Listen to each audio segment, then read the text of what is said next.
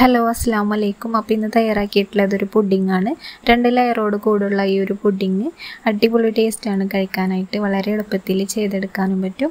അപ്പോൾ എന്റെ വീഡിയോ ഇഷ്ടപ്പെട്ടാൽ ഒന്ന് ലൈക്ക് ചെയ്യാനും സബ്സ്ക്രൈബ് ചെയ്ത് സപ്പോർട്ട് ചെയ്യാനും മറക്കരുതേ. ആദ്യം മൂന്ന് ക്യാരറ്റ് എടുത്തിട്ട് തൊലയിലാം കളഞ്ഞതിന് ശേഷം ചെറിയ കഷ്ണങ്ങളാക്കിയിട്ട് മിക്സിയുടെ ജാറിലേക്ക് ഇട്ട് കൊടുക്കാം. പിന്നെ ഇതിലേക്ക് മൂന്ന് ഏലക്ക ഇട്ട് കൊടുക്കാം. അരക്കപ്പ് പാലും കൂടെ ഒഴിച്ചിട്ട് ഇത് നന്നായിട്ട് അടിച്ചെടുക്കാം. ഏലക്കട പൊടിയാണെങ്കിൽ അര ടീസ്പൂൺ ഏലക്ക പൊടി ചേർത്ത് കൊടുത്താലും മതി. ഇതിപ്പോൾ നന്നായി അടിച്ചെടുത്തിട്ടുണ്ട്. നന്നായി പേസ്റ്റ് പോലെ അരച്ചെടുത്തിട്ടുണ്ട്. ഇനി ഒരു നോൺ സ്റ്റിക്കിന്റെ പാത്രം അടുപ്പത്ത് വെച്ചിട്ടുണ്ട്. ചൂടായി വന്നാൽ അതിലേക്ക് ഒരു ടീസ്പൂൺ നെയ്യ് ചേർത്ത് കൊടുക്കാം. നെയ്യ് മെൽറ്റായതിന് ശേഷം ഇതിലേക്ക് അടിച്ചു വെച്ചിട്ടുള്ള ക്യാരറ്റിന്റെ മിക്സ് ഒഴിച്ചു കൊടുക്കാം. എന്നിട്ട് നന്നായിട്ട് ഇളക്കി കൊടുക്കാം. അപ്പോൾ ക്യാരറ്റിന്റെ പച്ചമണം മാറുന്നവരെ നന്നായിട്ടൊന്ന് ഇളക്കി കൊടുക്കാം. അപ്പോൾ ഫ്ലെയിം മീഡിയത്തിലാക്കി വെച്ചിട്ടുണ്ട്. ഇനി ഇതിലേക്ക് രണ്ട് നുള്ള ഉപ്പ് ചേർത്ത് കൊടുക്കാം.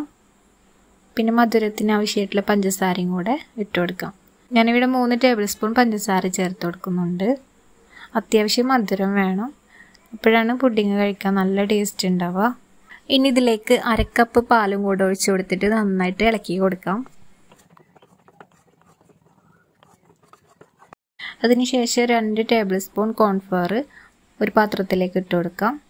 അതിലേക്ക് കുറച്ച് രണ്ട് മൂന്ന് ടേബിൾ സ്പൂൺ പാലും കൂടെ ഒഴിച്ചു കൊടുത്തിട്ട് നന്നായിട്ട് ഇളക്കി കൊടുക്കാം.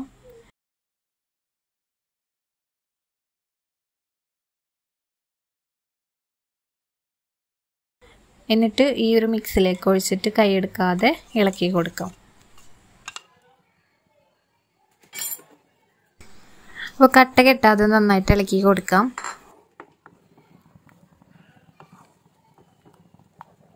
എന്നിട്ട് ഫ്ലെയിം ഓഫ് ചെയ്യാം. നന്നായി കുറുകി വരുന്ന സമയത്ത് ഫ്ലെയിം ഓഫ് ചെയ്യാം.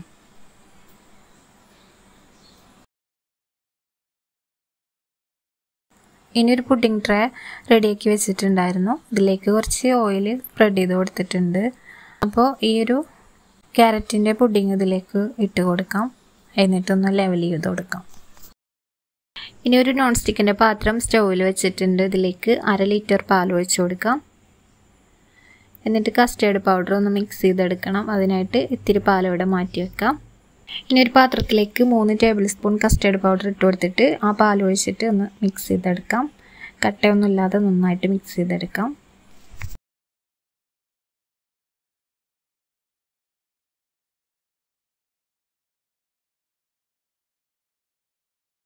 ഇതിലേക്ക് മധുരത്തിന് ആവശ്യമായിട്ടുള്ള പഞ്ചസാര ഞാൻ ടീസ്പൂണിലാണ് ഇട്ട് കൊടുക്കുന്നത്. ഒരു ഏഴ് എട്ട് ടീസ്പൂൺ ഇട്ട് കൊടുക്കുന്നുണ്ട്.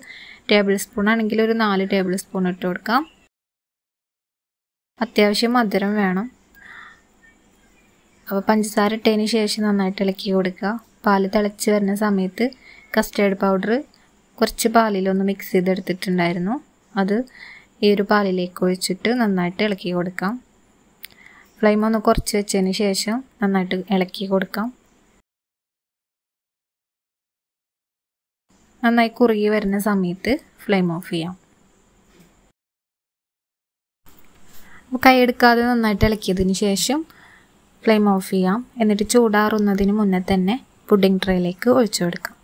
ഫസ്റ്റ് ലെയർ ഒഴിച്ചു കൊടുത്തിട്ടുണ്ടായിരുന്നു. അതിന്റെ മുകളിൽ അതൊന്ന് സെറ്റായി വന്നിട്ടുണ്ട്. അതിന്റെ മുകളിലായിട്ട് ഈ ഒരു പുഡിങ്ങും കൂടെ ഒഴിച്ചു കൊടുത്തിട്ട് ഒന്ന് സെറ്റ് ചെയ്ത് കൊടുക്കാം. ഒന്ന് ലെവൽ ചെയ്ത് കൊടുക്കാം. അപ്പോൾ ഇത് രണ്ട് ലെയറായിട്ട് ഫസ്റ്റ് ലെയർ ക്യാരറ്റ് പുഡിങ്ങും മുകളിൽ സെക്കൻഡ് ലെയറായിട്ട് കസ്റ്റർഡ് പുഡിങ്ങും കൂടെ ഒരുമിച്ച് നമുക്ക് കഴിക്കുമ്പോൾ അടിപൊളി ടേസ്റ്റാണ് എന്തായാലും എല്ലാവർക്കും ഇഷ്ടപ്പെടുന്ന ഒരു പുഡിങ്ങാണ് അപ്പോൾ ഇതിന്റെ മുകളിലായിട്ട് നട്ട്സൊക്കെ ഉണ്ടെങ്കിൽ നമുക്ക് ഡെക്കറേറ്റ് ചെയ്ത് കൊടുക്കാം. ഞാനിവിടെ അണ്ടിപ്പരിപ്പും ബദാമും കൂടെ നടു കീറിയിട്ട് ഒന്ന് വെച്ച് കൊടുക്കുന്നുണ്ട്.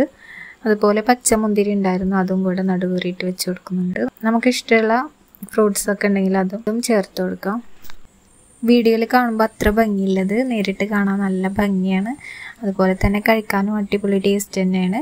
എന്തായാലും കുട്ടികൾക്കും വലിയവർക്കൊക്കെ ഒരുപോലെ ഇഷ്ടപ്പെടുന്ന ഒരു പുഡിങ്ങാണ് അപ്പോൾ പെരുന്നാളിനും നോമ്പിനൊക്കെ നമുക്ക് ഉണ്ടാക്കി കഴിക്കാം. അല്ലാത്തപ്പോഴൊക്കെ ഉണ്ടാക്കി കഴിക്കാൻ പറ്റിയ അടിപൊളി പുഡിങ്ങാണ് എന്തായാലും എല്ലാവരും ട്രൈ ചെയ്ത് നോക്കണേ. അപ്പോൾ എന്റെ വീഡിയോ ഇഷ്ടപ്പെട്ടാൽ ഒന്ന് ലൈക്ക് ചെയ്യാനും സബ്സ്ക്രൈബ് ചെയ്ത് സപ്പോർട്ട് ചെയ്യാനും മറക്കരുതേ.